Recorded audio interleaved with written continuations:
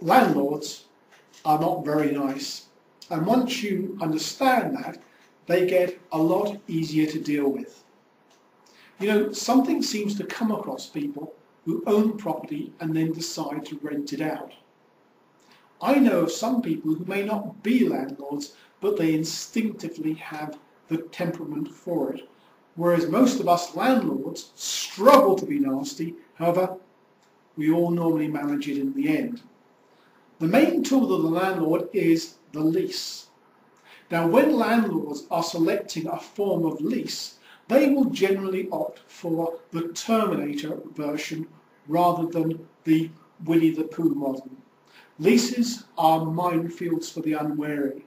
They contain delayed action mines that can go off months or years later, usually when your business is facing its darkest hour. With most new businesses failing within the first two years, you can probably understand why landlords are a little paranoid.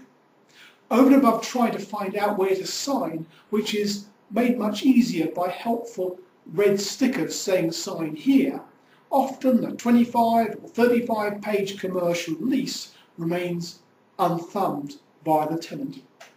Well, here are three things that can go wrong. One, the lease doesn't contain an assignment clause. That means that if your business is in trouble, you can't offload it without the landlord saying that you can.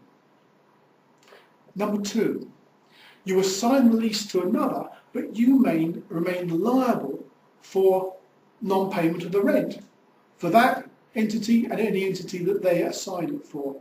So at least you can limit your liability by making getting options to renew. Don't agree to long leases, get a lease with several options to renew. Number three, if you get a bargain rent, then a market review one year or two years later can make that rent go way up.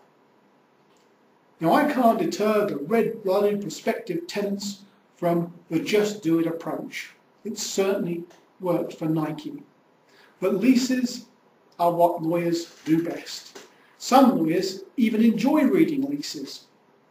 Sad, but useful if you're a tenant who does not wish to lose his shirt.